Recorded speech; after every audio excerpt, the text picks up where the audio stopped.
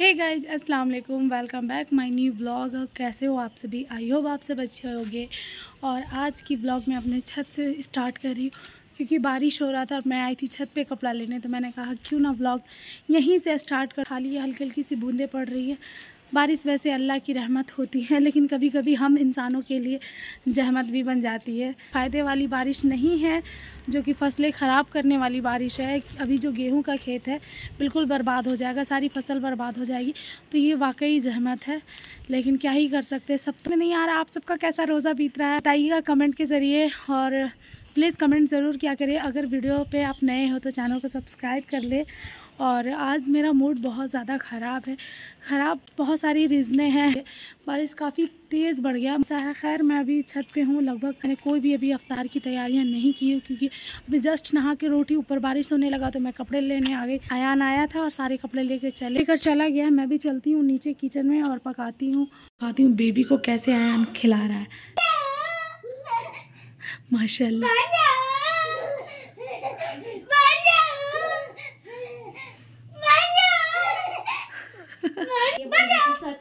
देखो। अच्छा Ronaldo sir. देख लो। तुम्हारा आ? चलो भाई लहसुन छिल गया। अरे अभी अभी बहुत बुरा गिरता है यार। रानी को काम हमने दिया था, लहसुन छिलना, वैसे रानी ने काम कंप्लीट कर लिया। Thank you Rani. और नमाज़ अदा करके मैं अपने किचन में लगी हुई थी और ये दोनों काफ़ी ज़्यादा खिलखिला रहे थे। तो मैंने इनको रिकॉर्ड कर लिया, माशाल्लाह से।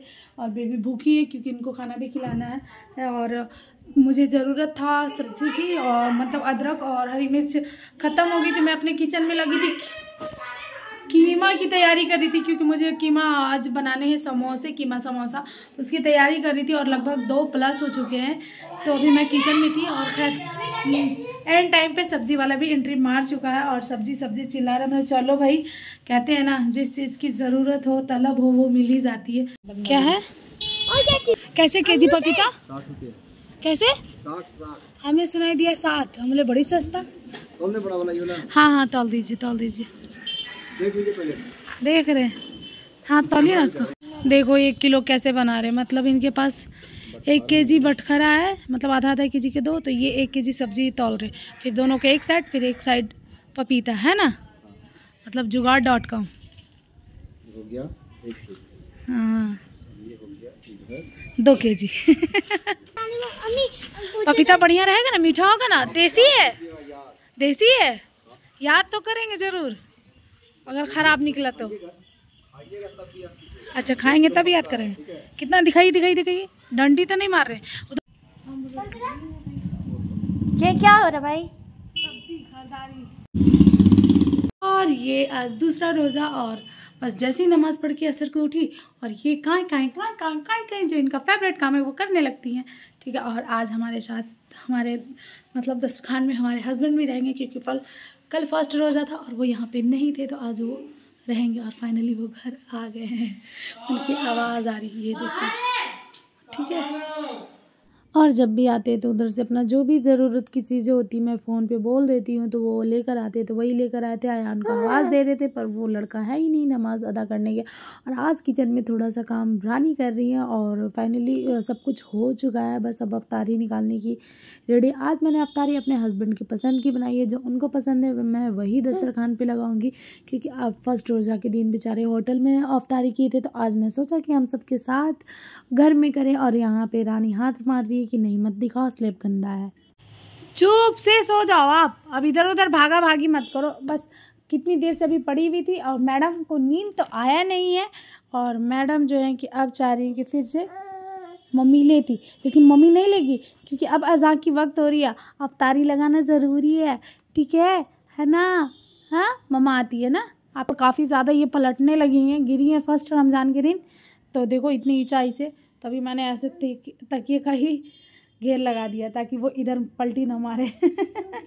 और बहुत सारी सामानें तो हमने समेट ली, जो भी ग्रोसरी का सामान लेकर आई थी, लेकिन मसाले अभी ऐसे ही पड़े, क्योंकि मसाले का डब्बा काफ़ी ज़्यादा कम है, मैं उस दिन लेना भूल गई, तभी मुझे लाल मिर्च की ज़रूरत है तो वही लेने आई हूँ, निकाल रही और ये बता दूँ कि विशाल जो है, विशाल मॉल, वो उसका अपना प्रोडक्ट है, पूरे विशाल में पूरा भर रखा अपना प्रोडक्ट मैं फ़र्स्ट टाइम इसे ट्राई करने वाली हूँ, देखती हूँ कि इसका टेस्ट कैसा है और काफ़ी अच्छे प्राइस में मुझे मिला बाकी ब्रांड के लेकर।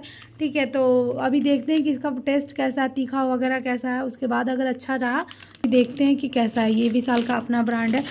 अगर खाने में सही रहा तो फिर इसे ही हम इस्तेमाल करेंगे आगे भी।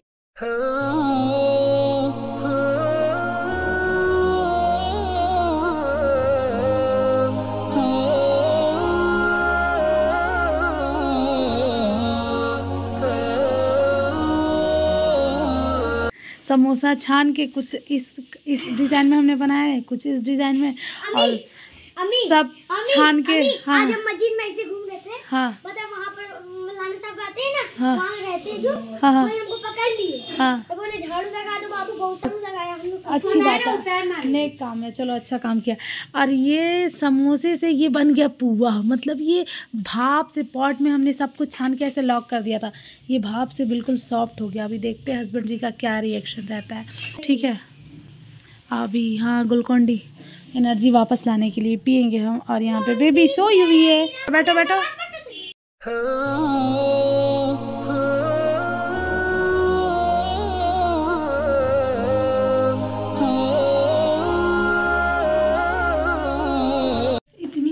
अजीब लगने लगी अफ्तारी करने के बाद टहल कर मैं आई क्योंकि एकदम तबीयत भारी लगने लगा था? हाँ बेबी को जो लेके निकले। अरे गर्दन उर्दन फंस जाएगा।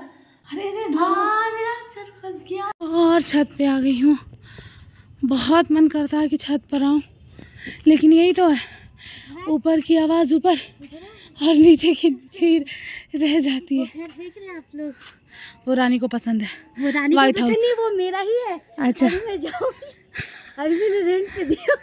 अच्छा तुम तो वहाँ जाओगी ना। ठीक है देखो वो मेरा मैंने रेंट पे दिया क्योंकि पैसे की कमी पड़ गई थी। अच्छा इसलिए। हाँ। हाँ और देखो कितना खूबसूरत लग रहा है ये नज़ारा। काश इस शहर में हमारा घर हो। वो ताला। इंशाअल्लाह ताला एक ना एक दिन ज़रूर होगा। बोलो आमीन सुम्मा आमीन। आमीन आमीन हाँ ये देखो कितना खूबसूरत लग रहा भाई। बहुत खूबसूरत। खैर चलो। मुझे बहुत ज़्यादा ये वाला पार्ट वैसे हमने हमेशा से बताया कि ये बड़ी बड़ी बिल्डिंग बहुत प्यारी लगती है। पर कहते हैं ना सब कुछ छोड़ कर चले जाना है। वही दो गज मिट्टी में। लेकिन क्या करूँ जब दुनिया में हूँ तो इन सब चीज़ों से भी प्यार है। बहुत प्यारा लगता है मुझे। चलो खैर। इंशाल्लाह एक ना एक दिन मेरी भी ख्वाहिश ज़रूर पूरी होगी। आमीन। अल्लाह पाक, आप सुन रहे ना? आपके सामने आकर बोल रही हूँ। डायरेक्ट आवाज़ जाता होगा अल्लाह पाक को। और ये देखो, कितने कपड़े हैं। ये सब मैंने धोए हैं, ठीक है? रात के 11:41 हो रहा है और हमारे घर में देखो, और इनके पापा को देखो। फुल्ली फ्लैट और इधर देखो। मतलब इस लड़की को नींद नहीं आ रहा है। और मस्त खेली जा रही, खेली जा रही, खेली जा रही है। मतलब अभी एक दो घंटा नींद आने वाला भी नहीं है।